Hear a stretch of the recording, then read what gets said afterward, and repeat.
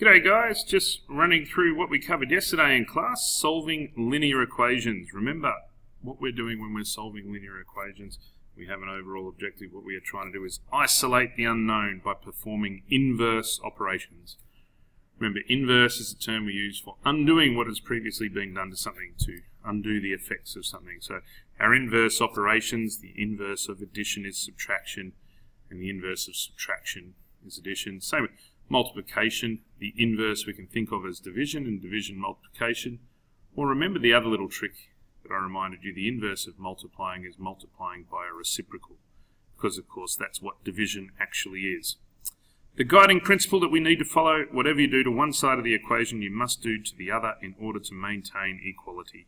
So we're adding or subtracting, multiplying or dividing. As long as we do that to each side, we will be fine. Let's have a look and just do a quick refresher on how to do some of these questions. So, here I have 3 plus x equals 7. 3 has been added onto x, the opposite of 3, the inverse of positive 3 is negative 3. So I just subtract 3 from each side. Remember, if you cannot write down what you're doing each step, like I did just then, then you probably don't fully understand what you're doing. And I know some of these easy ones, it's very easy to get to the answer, not necessarily to know what you're doing. So I subtracted 3 from each side, that's why I go 7 minus 3 over on the right hand side, and I get x equals 4. The next one, the variable g is being multiplied by 5. The inverse of multiplying by 5 is dividing by 5 or multiplying by 1 fifth. You know that they're equivalent, so that's okay. I'm going to just, can I pin that there? It's not going to let me pin it. So what's the equivalent? Expression that I have now? Well, 5 divided by 5, they cancel, don't they? They go to ones. So I have g equals 25 divided by 5 is just 5. The next one, m divided by 4 equals 9. The opposite of dividing by 4 is to multiply by 4. So I multiply each side by 4.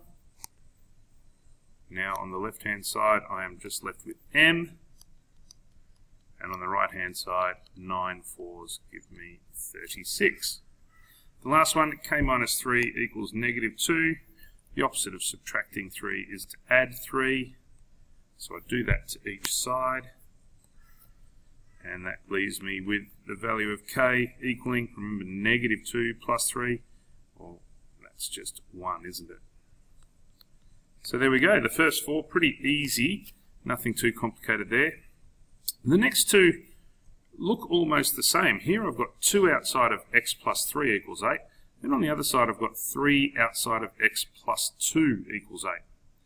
You always have two options when you get to this an equation that looks like this, or when you maybe simplify one and get down to an expression, an equation that looks like this. I can either expand the bracket, or I can divide by the number in front of the bracket. Now, I would recommend that the way to decide is to see whether or not that value in front is a factor of the number on the other side. You can see in question 5 here, 2 is a factor of 8. So when I divide by 2, I have made the question easier. Here, 2 divided by 2, cancel the common factors, so I am left with x plus 3 equals 4. I now subtract 1 from each side. Oh, got the wrong colour pen there. Chewy.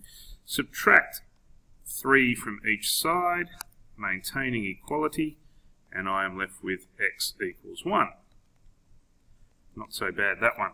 If I tried at this point to divide by 3, it would still work, but I'd be introducing a fraction. I would have x plus 2 equals 8 over 3 when I divide each side by 3. And in my experience, students are better off not working with fractions until they absolutely have to. So I'm going to show you the alternate working here, where I'm going to use my distributive law to expand that bracket. So I have 3x, and then 3 times 2 is 6, so 3x plus 6 equals 8. Now I can get rid of the 3 and the 6. Now which one do we get rid of first? You remember the analogy, it's like getting dressed or undressed. You can't take off what's next to you until you take off the outer layers. This 6 is an outer layer, so I've got to get rid of that first. So I subtract 6 from each side, and I have 3x equals 2. Now, to undo multiplying by 3, I have to divide by 3, But the advantage of waiting is that the fraction only turns up as the final step. I don't need to worry about doing any addition or subtraction with fractions. x equals 2 thirds. It's just a little bit easier. So something to keep in mind, if you've got a bracket with a number in front of it, you want to decide if the number is a factor of the value on the right, go ahead and divide. If it's not, you're probably better off expanding. 7 and 8, two similar questions here. On the top I've got x plus 2 divided by 5, whereas in the other side I've got 3j divided by 5. So you can see that there's a difference when there's addition on the top or subtraction, so two terms on the top, as opposed to one term, which is just a product of factors.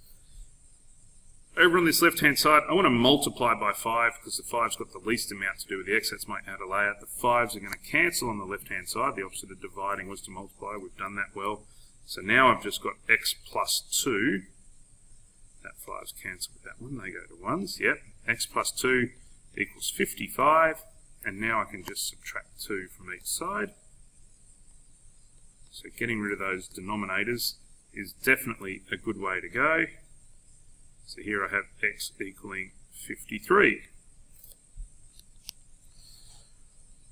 Question 8, 3j divided by 5. I could start by multiplying by 5, multiplying each side by 5, because that's going to get rid of the denominator.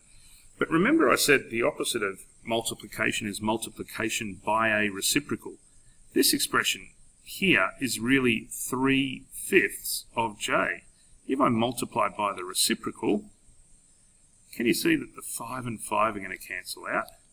And the 3 and the 3 are going to cancel out. And in one step, I will have got to an answer that I can work with. I'll have got to the j on its own straight away. That's a very quick method of getting to an answer. It's the fastest way of getting there. And if you understand what you're doing, it's the easiest way of getting there. Of course, you could multiply by 5 and then in the next line divide by 3, but I think doing it all at once is easier. 20 times 5 over 3 is just going to be 100 over 3. As far as I'm concerned, that's a beautiful answer. You can leave it like that.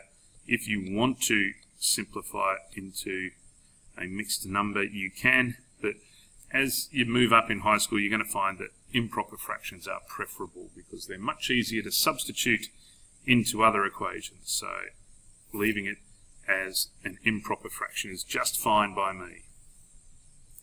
Finally, a little challenge question here. I've got the variable on both sides of the equation. I've got nasty little bits everywhere. We need to be careful here. We want to simplify each side first before we try and do anything else. It's very tempting at this point to go 9 minus 7 is 2. But you would remember that you need to multiply before you do any additional subtraction. So to simplify this left-hand side, I leave the 9. I'm going to go negative 7 times v is negative 7v. Negative 7 times 2 is negative 14. On the right-hand side, I'm just going to leave that 3v alone. And again, I'm going to expand the bracket. Negative 6 times v, negative 6v. Negative 6 times 1 is negative 6. Still, stick with your one side and simplify that side. So in terms of v's, on the left-hand side I have negative 7v, and then 9 minus 14, that's going to be negative 5. On the right-hand side, I've got 3 v's. I then need to take away 6 of them. So that leaves me with the shortage of 3, doesn't it? 3 minus 6, so that's negative 3v minus 6. Now it becomes easier. I've got these on both sides of the equation. What I want to do is I want to get them all on one side. Seeing as though negative 7 is smaller than negative 3, I am going to choose that one to move. So I'm going to add 7v to each side. The advantage of that is it's going to get rid of these negatives and make them positives. Given that I'm going to put all my v's on the right hand side, I want to get rid of anything that's not a v from the right hand side. So the opposite of subtracting 6 is to add 6 and so I'm going to do that to each side as well. So as long as your showing your working there, it shouldn't be too bad. So keeping track of what's happening on each side, showing you're working, just makes it easier for you and easier for the person marking your exam. So negative 7v plus 7v, we knew they were going to get rid of each other. Negative 5 plus 6, that goes to 1. That's looking a lot nicer already. On the right-hand side, negative 3v plus 7v. Negative 3 plus 7 is 4, so that's going to be 4v. And negative 6 plus 6 cancel out.